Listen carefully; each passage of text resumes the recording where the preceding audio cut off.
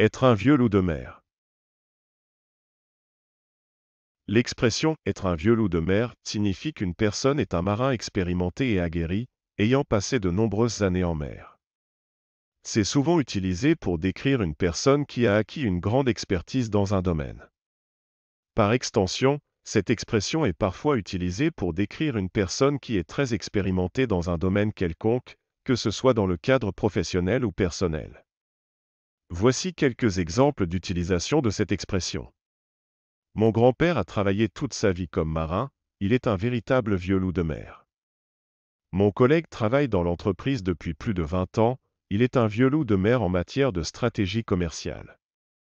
Cette chanteuse de jazz est une vraie vieille loup de mer, elle a une grande expérience de la scène et du public.